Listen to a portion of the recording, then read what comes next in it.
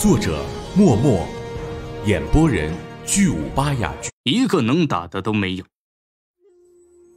虚空地是最近才出现的势力，无影洞天中的武者都不知道在这里生存了多少年，对虚空地哪儿有什么知晓，是以也无从判断杨开的言辞真假。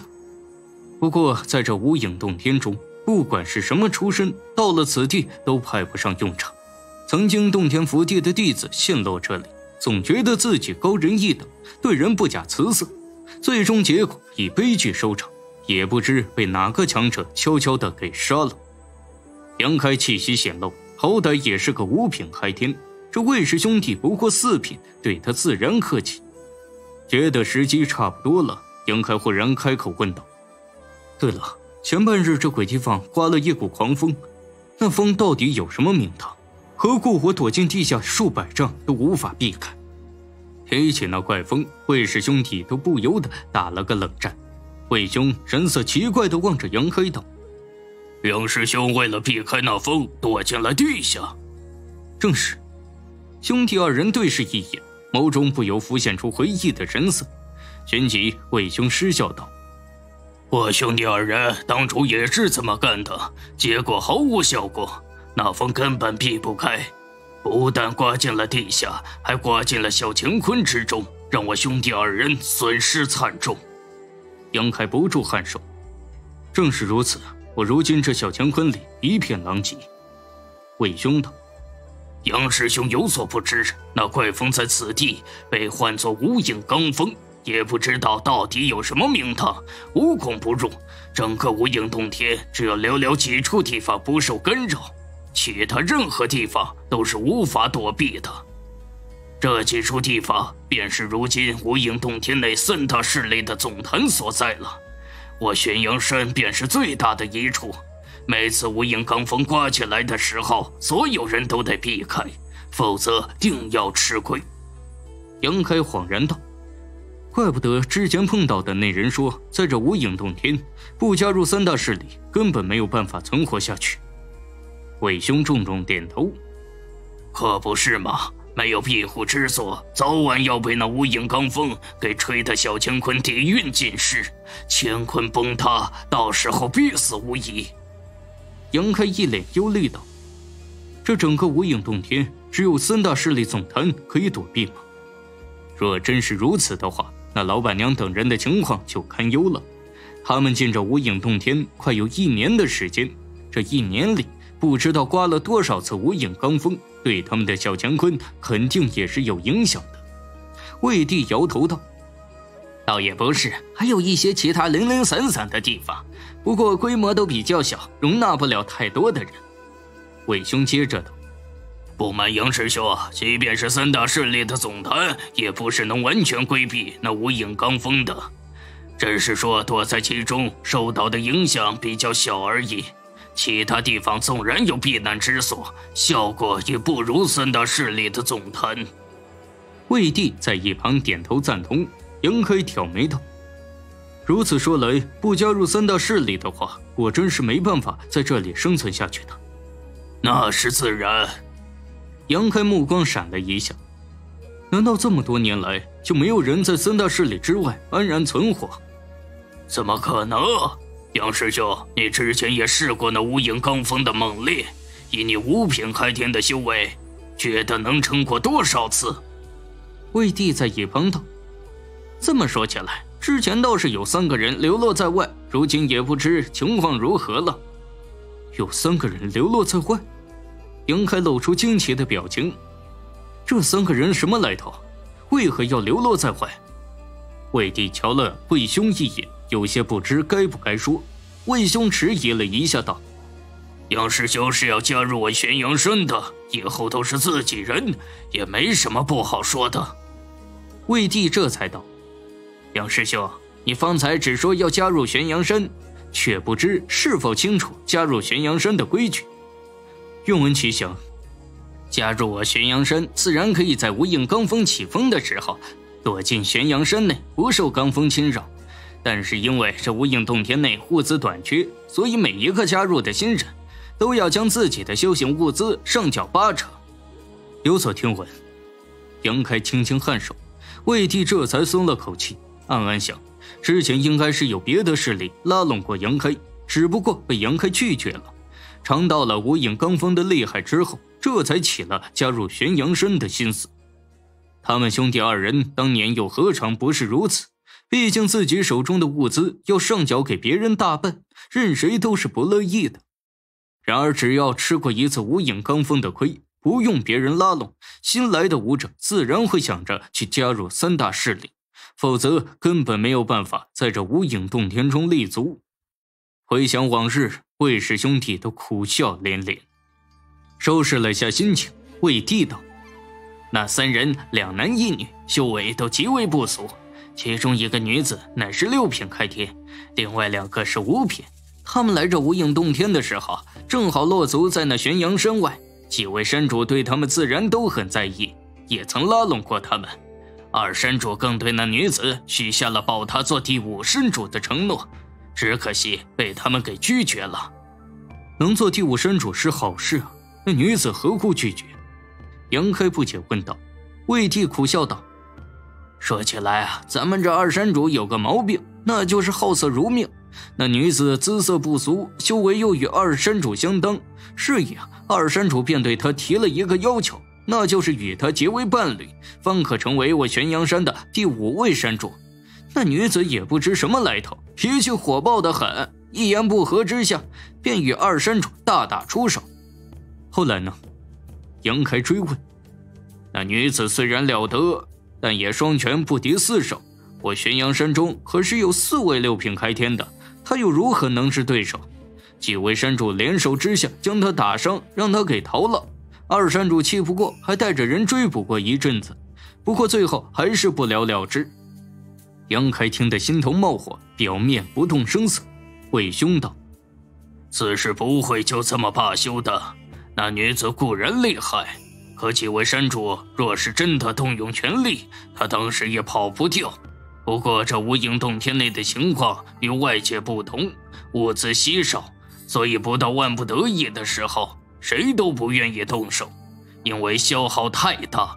当时几位山主若想留下那女子，非得付出巨大的代价不可，是以才会放任其离去。魏帝颔首道：“如今已经过了这么长时间了，想必二山主应该快要动手了。那女子三人在外，固然寻了一处休养之地。”可一直都在抵御无影罡风，想必实力大浅，不比当初。再对上二山主的话，决然不是对手。杨开问道：“两位可知那女子三人藏身何处？”魏兄奇怪地瞧他一眼：“杨师兄问这个干什么？”杨开淡淡一笑：“好奇而已。”魏兄也不疑有他，只是摇头道：“他们藏身的地方，我兄弟也不清楚。”不过二山主应该是知道的。说话间，魏兄一指前方道：“前面就是玄阳山了。最近一个月正是二山主当值。杨师兄，我先领你去见二山主。回头入了玄阳山，咱们再好好聊聊。”有劳两位。杨开稽首。玄阳山有十几座山头，放眼望去，山脉之间多有宫殿楼台。还有许多武者活动的痕迹，而能进这无影洞天的，莫不都是开天境。半道上偶有后遇到相熟之人，都纷纷跟魏氏兄弟打招呼，更有人询问起杨开的来历。魏氏兄弟毫无隐瞒，那些人闻言纷纷流露出羡慕的神色，因为杨开是魏氏兄弟带进玄阳山的，回头上缴了八成物资之后，魏氏兄弟也能得到一笔不错的赏赐。这等白得的好处，自然让人羡慕不已。很快，一行三人便落在一座山峰上，峰上有大殿，规模巨大，殿内隐约还传来嬉笑打闹之声，莺莺燕燕。走到殿外，魏氏兄弟道：“杨师兄，且稍等片刻，容我先去禀告二山主。”杨开颔首等待起来。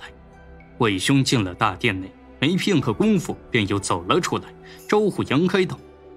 二山主召见杨师兄，请。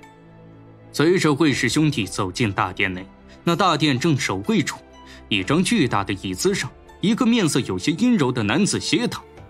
四目相对，阴柔男子嘴角一勾，露出一抹邪魅的笑容，安躺不动。你要加入我玄阳山？阴柔男子淡淡问道。你是玄阳山二山主？杨开不答反问。阴柔男子轻轻笑道：“不错，本座正是玄阳山二山主云飞白。大半年前，曾有一女两男来到此地，那女子被你打伤。”杨开再问。云飞白眼帘微微一眯，若有所思的瞧了杨开一眼。一旁魏氏兄弟也感觉有些不对了，都扭头朝杨开望来。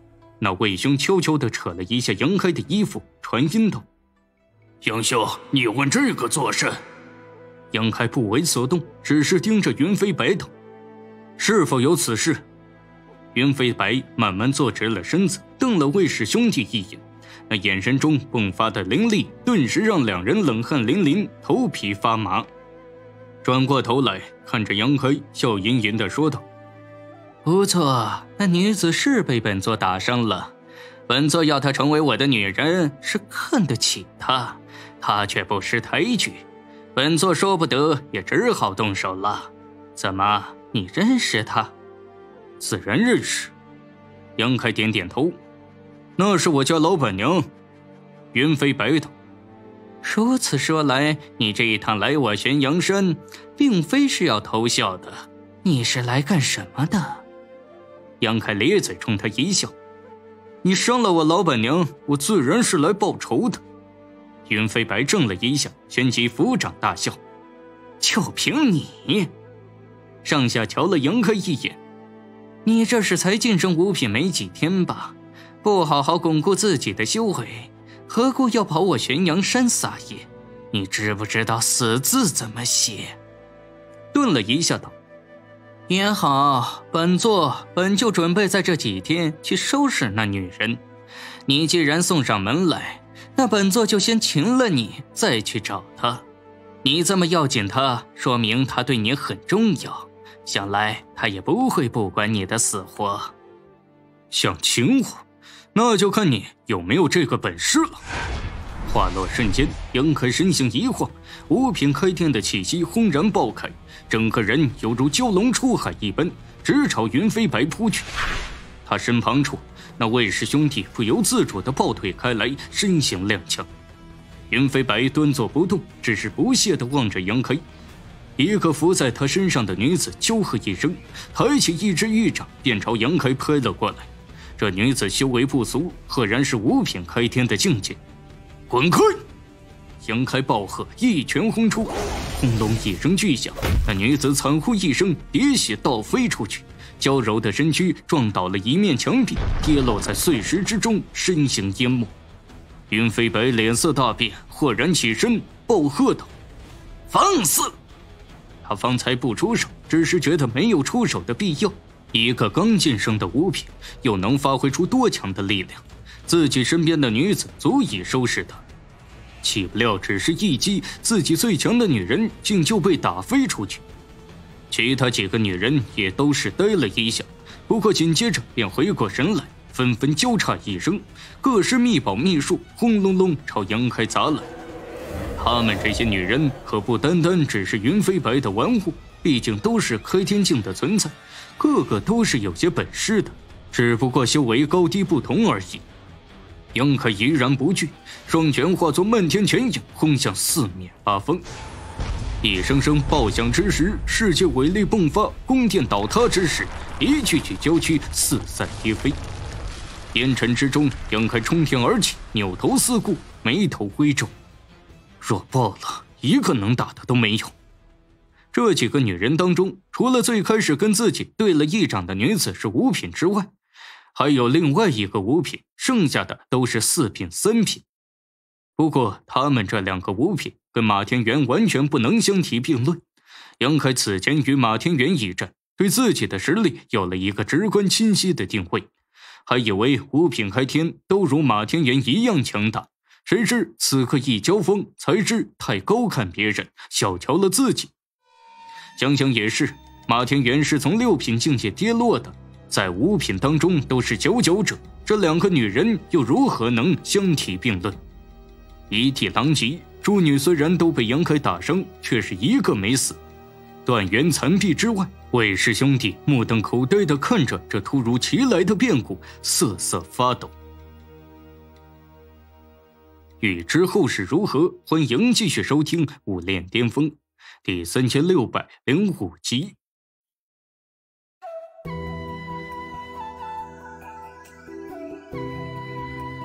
听众朋友们，您刚刚收听到的是由喜马拉雅出品的武侠玄幻小说。